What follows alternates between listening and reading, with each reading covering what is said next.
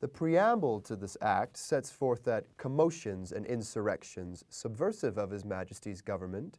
and destructive of the public peace had been raised and fomented in Boston, that during the course of these insurrections, some valuable cargoes of tea belonging to the East India Company had been destroyed, that while things continue in this situation, commerce cannot be safely carried on.